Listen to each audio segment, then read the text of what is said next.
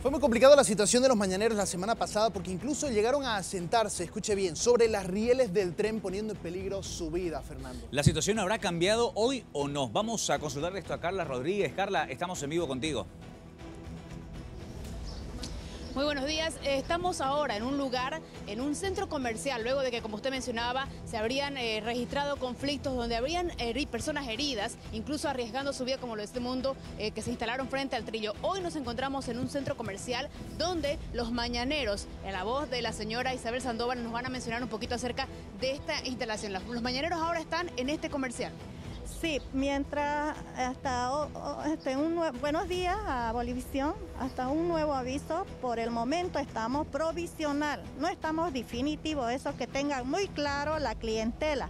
Ya cuando nos traslademos de aquí le vamos a dar un nuevo aviso a toda nuestra clientela, pero mientras hoy día pueden venir pasando a comprar nuestro eh, nuestro, lo que confeccionamos. Esto es importante, eh, eh, señora Isabel, que me gustaría que la gente conozca. Ustedes venden ropa importada, ustedes la fabrican.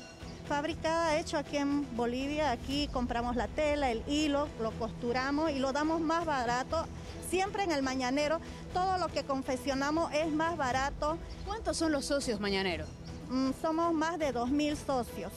Luego, de los conflictos han logrado a tener un acercamiento con este comercial que les ha brindado la posibilidad de instalarse de manera provisional acá. Sí, es provisional, sí, porque después por el momento no sabemos dónde nos, pero es provisional mientras estemos tal vez hasta Reyes o tal vez esta semana más, no sabemos. ¿Se puede decir entonces que la situación se ha calmado?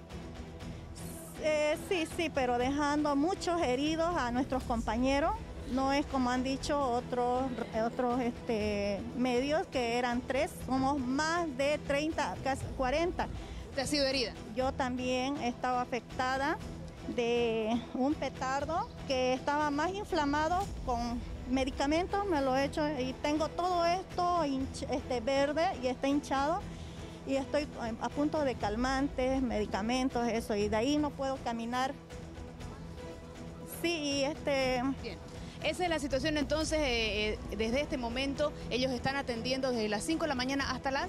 Todo el día, todo, el día. se, cree que hasta 6 eh, de enero entonces en el comercial Copacabana los mañaneros luego de los conflictos que se registraron por más de tres semanas en los que ellos no han podido vender ahora salen a realizar la venta de sus productos. Bueno, esta es la situación que se está dando de manera provisional con estos comerciantes que se habían asentado de manera ilegal, como año tras año lo hacen en el mundo en esta zona, los denominados mañaneros. ¿Será que habrá solución después de esto? Porque como bien escuchábamos, esto es de momento. Y hay una situación también, y es que su principal dirigente, el señor René Troncoso, recientemente dio a conocer que se está apartando de la dirigencia de los mañaneros por motivos de salud, tema de diabetes. Claro. Entonces habrá que ver también cómo la nueva dirigencia llega a tener algunos diálogos con las autoridades. También podría cambiar un poco esta situación. Diálogos que hasta el momento no han dado fruto, por lo menos lo que ha sucedido en, en los últimos días con esa reunión tan ansiada que se esperaba salga humo blanco y no fue así. Carla, te agradecemos y la dirigente también por habernos atendido.